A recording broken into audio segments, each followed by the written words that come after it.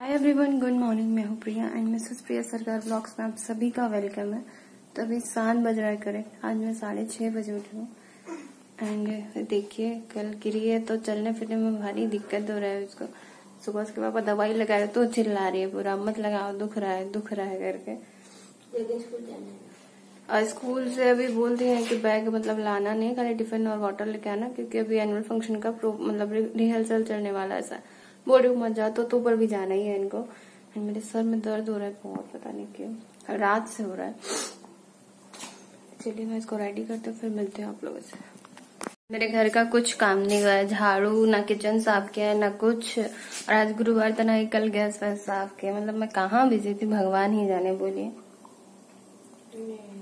थोड़ा सा गर्म पानी पी लूँ ताकि थोड़ा बेटर लगे। मैंने आजमा लिया है बर्थडे होता है ना जाती हूँ उसमें थोड़ा खड़े रहते हैं। आधा घंटा तो रहते ही बोले तो आके फिर मेरा गला वाला सर वर दुखना चालू हो जाता है दूसरे दिन। कहाँ से आता है बस? बस कहाँ है बाबू बस? उधर से आता है वो जान रहा है। हाँ? कहाँ है बस? ओती जाएगा स्कूल? स्कूल जाएगा बेटू हाँ बोलो दीदी साथ जाऊँगा बोलो। जाओगे? स्कूल जाओगे? हाँ? बस आ गया। वो अभी बहरा हो गया। ओ देखो बस आ गया। जल्दी बाय करो। दीदी को बाय करना। हाँ दीदी इधर। इधर ओ कहाँ? दीदी देखे। दीदी किधर है बेटू चलो बाय करो दीदी को। दीदी को अब मौसी जाएगी तो? मैं जाऊँगी बिट्टू। मैं भी घर जाऊँगी ना बिट्टू? नहीं। टीका तो गई। आज चाय वाय बनाते हैं पीते हैं फिर आराम से नहाएँगे धोएँगे।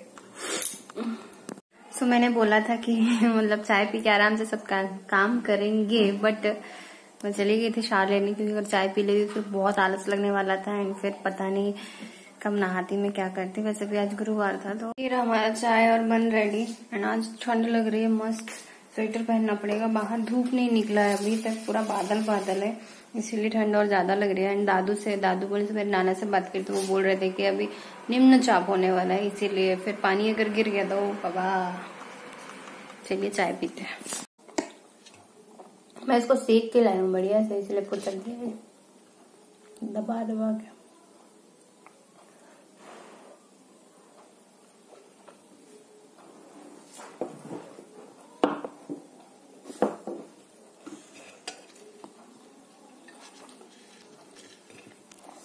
एंड मंगू को कल कुछ दिया नहीं है मैंने। कहीं जाएँगे तो कुछ ला दूँगी बोल कर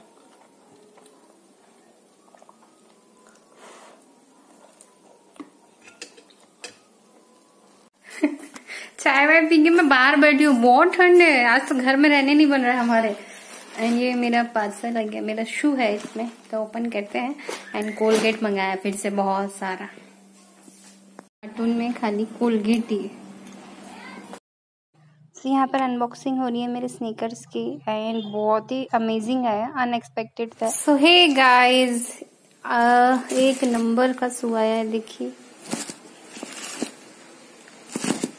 स्नीकर्स बोलते हैं वो ये ना थोड़ा मतलब इसकी हीट सी देखिए कितनी अच्छी है प्रॉपर एकदम।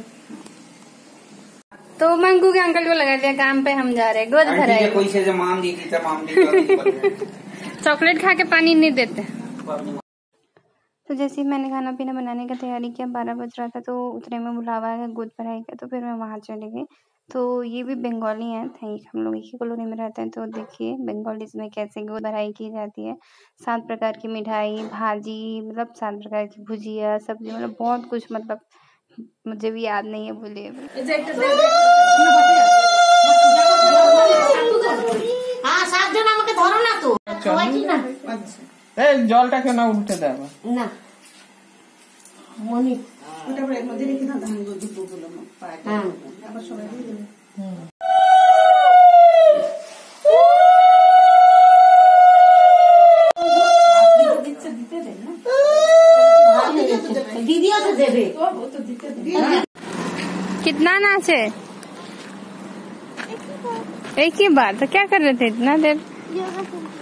बैठे थे कल समझ जाना। हटाने दो। मैं तो नहीं भेजूँगी। क्यों? टिफ़िन ही बना के नहीं दूँगी। क्यों? मत दो मैं तुझे दूसरे का खा लूँगा। अच्छा।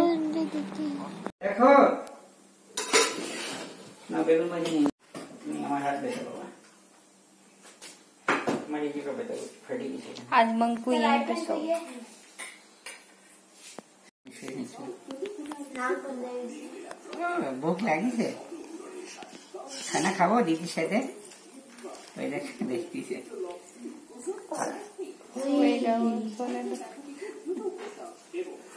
फिर सो गए सोने तो। उठी के जोड़ू ना जाओ चलो। बात खाओ। वो नाना करती है दीदी देखो। दीदी आ गई ना देखो। उठ के देखो दीदी कहा है? देखा? देखो दीदी वही देखो दीदी। देखो दीदी आ दीदी गई। कहाँ है दीदी? बोलो मेरे को नाना दो।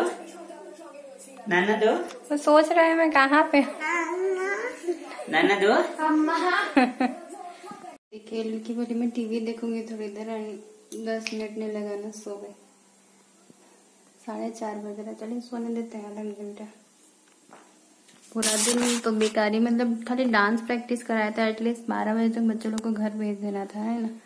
बट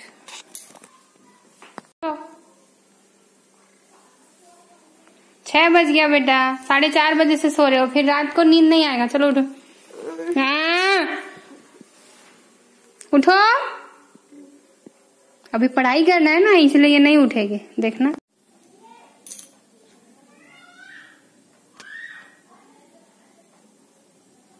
ये लड़की आज नहीं उठेगी आई एम श्योर उसको पढ़ना नहीं, इसलिए इसका नाटक चल रहा और मैं उठाने भी नहीं पा रही